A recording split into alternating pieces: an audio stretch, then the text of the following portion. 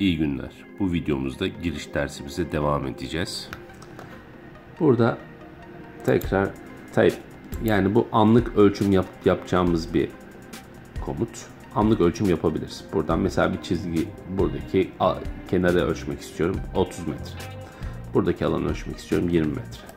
Mesela buradaki ya bu ne kadarlık oldu diye düşündüm 20'ye olmuş. Escape'e basıp tekrar bu komuttan da çıkabilirim. Ölçülendirme istiyorsam burada ölçülendirme komutumuz var. Buradan burayı ölç şuraya yaz.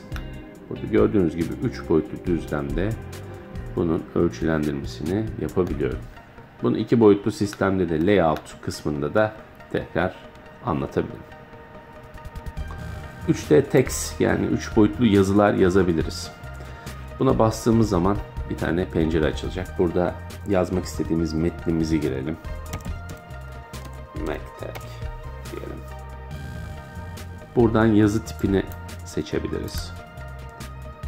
İşte ne tür bir yazı tipi kullanmak istiyorsak onu seçebiliriz. Place dediğimde bunu şu alana yerleştirecek. Tekrar scale ile bunu alıp istediğim kadar büyütebilirim. Aynı zamanda tekrar oka girdim. Çift tıkladım. Metnimizin içine girdim. Buradan push pull'la bunun derinliğini arttırabilirim. Tek tek arttırabileceğim gibi komuttan çıkıyorum. Dışarı tıkladım. Scale komutumuzla şu göbeğindeki kareyi yakalayarak komple bunun yüksekliğini de arttırabilirim. Yani scale'i her yerde kullanabiliriz. Evet burada anlatmadığımız follow me kaldı. Follow me de şöyle bir komut. Ben size şöyle bir örnek vereyim. Mesela bu çerçevenizin etrafına bir tane kesit çizerek bu kesiti döndürmek istiyorsunuz. Bunu çizerek şöyle anlatayım.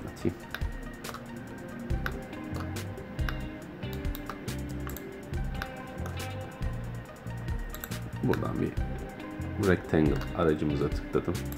Şöyle bir rectangle çizdim. Bunun içine de geliş güzel çiziyorum tamamen. Şöyle. Ondan sonra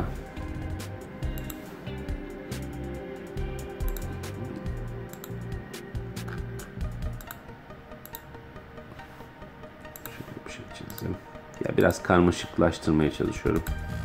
Daha iyi anlamanız için.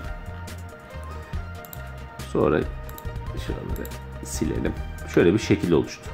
Buradaki kesiti böyle bu karenin etrafında dolandırmak istiyorum. Bunun için Follow tuşunu kullanmadan önce ilk önce iz düşümünü takip edeceği çizgileri seçiyoruz. Burası. Sonra Follow Me'ye tıklıyorum. Bu cismi döndürmek istiyorum diyorum ve bizim seçtiğimiz kesiti komple etrafını döndürdüğünü görebiliriz buradan. Gerçekten de güzel fonksiyonel bir tuş. Fonksiyon. Başka buradan görünümlere geçebiliriz. Buradan perspektif görünümü. Buradan top yani yukarıdan görünümü geçebiliriz çizimimizde. Buradan sol yan, arka, sağ yan gibi direkt görünümlere buradan geçebiliriz. Aynı zamanda şurada show, hide shadows yani shadow gölge.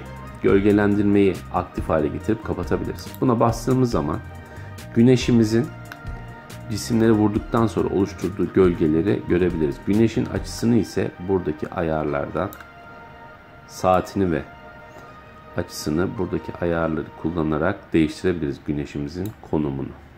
Bunu tekrar buraya basarak da kapatabiliriz. Diyelim ki çizimimizi yaptık. Bunu dışarı JPEG olarak aktarmak istiyorum. Buradan export'a gelerek 2D Graphics diyorum. Buradan nereye kaydetmek istediğimi soruyor.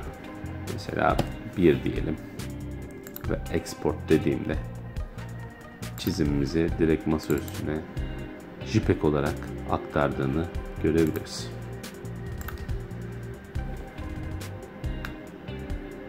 Çizimimiz kabaca böyle. İleriki derslerimizde mimari bir 3 boyutlu çizimimizi nasıl yaparız? Size örnek çizimlerinden göstereyim. Mesela bunların hepsinin SketchUp programını kullanarak yaptığım bazı çizimler. Bu türlü mimari çizimler yapıp görselleştirme yapabilirsiniz. Tabi bu ham hallerinden sonra V-Ray diye bir render motorumuz var. Render frame'lerinden sonra aldığımız görüntüler. Böyle bir banyo çizimimiz var. Sonra böyle bir mimari villamız var. Gibi görselleştirme yapabileceğiniz gerçekten de çok fonksiyonel ve basit bir program. Ayrıca çizdiğimiz cisimleri boyamak ya da herhangi materyalle kaplamak için de burada gördüğünüz Paint Bucket fonksiyonuyla buraya girip mesela cisimlerin yüzeylerinin burada metaller, asfalt, ondan sonra brick yani tuğla, carpet halı desenleri var. Renkler var. Sonra landscape yani zemin kaplamaları, fence, metaller, çatı kaplamaları, işte tile, seramik kaplamaları, daha sonra transparent neredeydi? Onu da göstereyim size. Glass and mirror. Burada cam kaplamaları. Bunlarla kaplayabilirsiniz. Mesela cama tıklayalım. Bu cismimizin ön tarafını cam olarak tanımladığımızda gördüğünüz gibi içinin gözüktüğünü, şeffaflaştığını görebilirsiniz. Edit dediğimizde de bunun şeffaflık ayarını yapabilirsiniz bu kısımdan. İşte çok şeffaf olsun ya da biraz camın dokusunu göstersin. Buradan camın rengini değiştirebilirsiniz. Daha sonra select diyerek tekrar kalırsa gelip buradan istediğimiz renge boyayabiliriz cisimlerimizi. Daha sonra metal. Burada metal yüzeylere boyayabiliriz. Aynı zamanda bu edit'ten buradan cismimizin kaplamamızın boyutunu ayarlayabiliriz. Mesela 2 5 diyelim. Şurada kaplamamızın boyutunun değiştiğini görebiliriz. Tekrar select'ten işte metal roofing çatı kaplamalarında mesela shingle yapalım. Üzerini shingle kapladık. Bunun boyutlarını arttırmak için edit'e gelip tekrar şuradaki birimleri büyüterek buradaki texture'ımızı büyütebiliriz.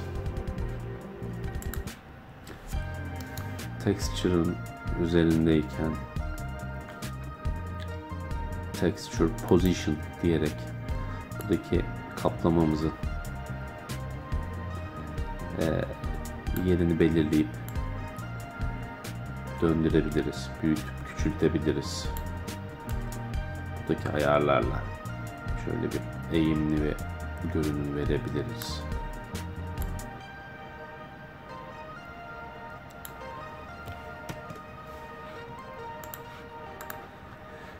Evet, bu fonksiyonumuz buna geliyor.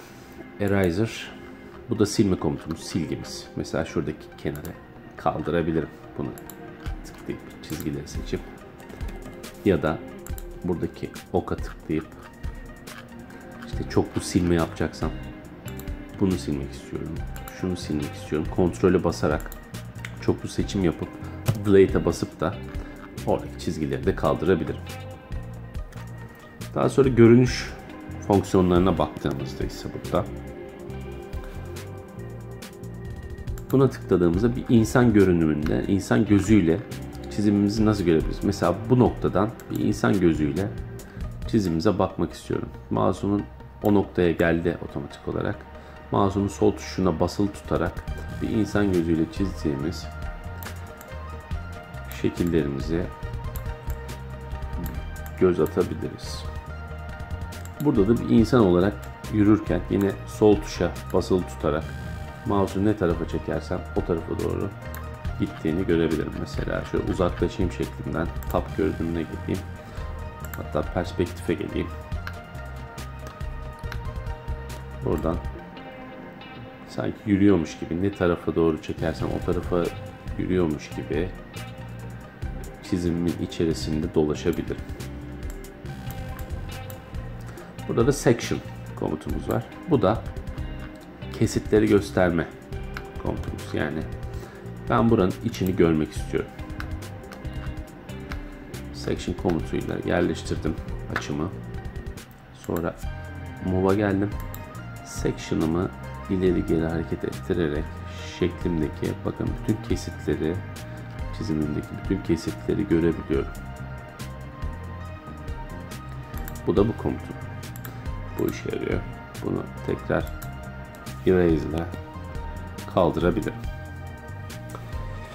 Evet, bugünkü dersimiz bu kadar. Bir sonraki dersimizde mimari bir elimizi çizip işte V-Ray ile renderımızı almayı göreceğiz ileriki derslerimizde. Mimari bir üç boyutlu çizim yapacağız. Görselleştireceğiz. Şimdi temel dersimizi bu şekilde tamamlamış olduk. Kanalıma abone olmayı lütfen unutmayın. Videomu izlediğiniz için teşekkür ederim. İyi günler.